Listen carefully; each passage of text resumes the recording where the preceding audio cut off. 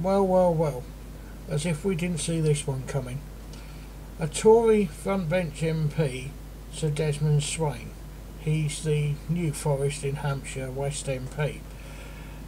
He, somebody that stands up in the House of Commons for the human rights, the Democratic Society. Uh, he's a human rights campaigner, and he talks to the left and the right. Now being criticised by the Evening Standard, and no doubt the Sun will pick up on this pretty shortly, along with the Mirror and the rest of the mainstream media, hell-raising, shit-stirring tabloids.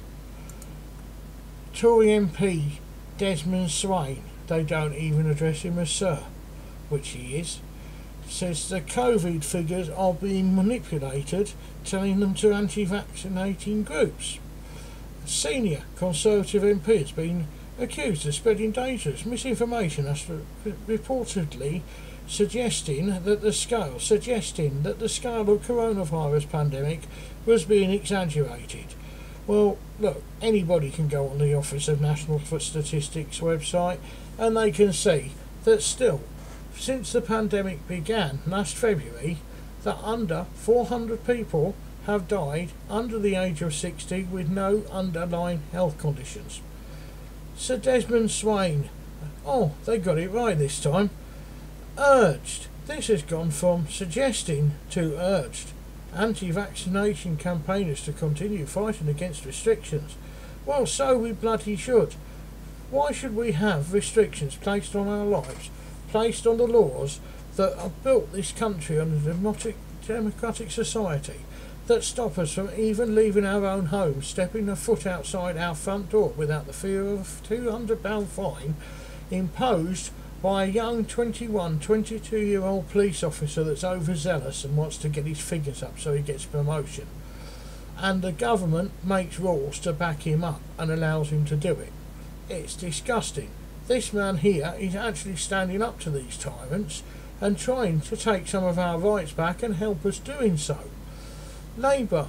Oh, here we go. Keir Starmer again has accused the former minister of spreading dangerous misinformation about coronavirus and has called for the Tories to take action. Well, they'll probably take action in the year 2030 when China's taken over in 2028 from the US economy and probably owns the world by then. Uh, Angela Rayner, Deputy Labour leader, has written to the Conservative Party chairwoman why has she bothered writing? They sit opposite each other virtually every bloody day. Alleged remarks made by the veteran politician, the veteran politician, oh here we go, we're kicking him out, said that COVID-19 infection mortality figures had been manipulated. Oh dear, somebody suggested he's got to be a conspiracy theorist, hasn't he? Sir Desmond took to Twitter to defend himself, posting, Sky's wrong. Aside from my question to the PM, Oh, that's where you went, Desmond. You went wrong there, mate. You questioned the Prime Minister. How dare you in the House of Commons? Keep your mouth shut, listen to what they say, do as they tell you, and just take your money. That's the easiest way. Don't be a real MP that stands up for the people, mate. I well, I praise you, along with Sir Charles Walker, two MPs that actually stand out in the House of Commons as being active and on the people's side the people that remember everybody else in that house, in the House of Lords, we elected you, we put you there, we voted you in. And guess what? We probably won't next time. But that's the question, isn't it? Who do you actually vote for when you've got Labour on the side of the op- opposition government that the people absolutely loathe and hate?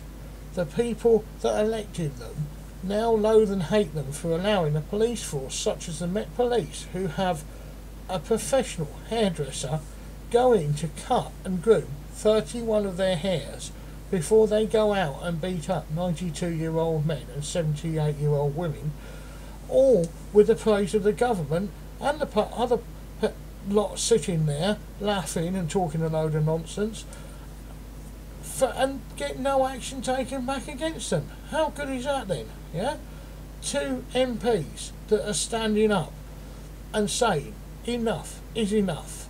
Take your rights back.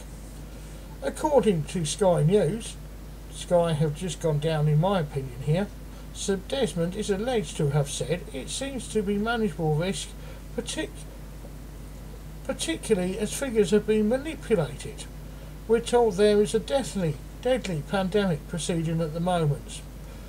Anybody can see the reason he's commented here is because if anybody looks at the true world data, with Wales sitting under the average seasonal mortality rate since the beginning of December, along with Northern Ireland and Scotland, who are the worst affected areas and must be locked down, would see that anybody can look at the spikes over the year. It's fucking January. We get more people die in January than any other month in the year.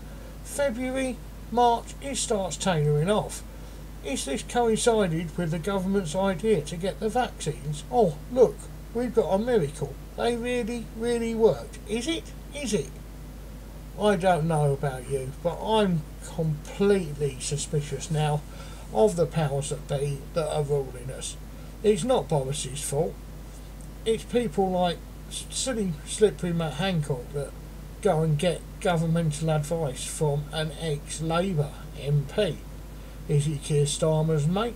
Is it all a big idea for Keir Starmer to shout and rant about schools, get kicked out, and Tony Blair goes, Do you know what? I'm going to get in power, and when the next general election is going to be a hung parliament, and good old Boris and Tony are going to be in control of the country's future.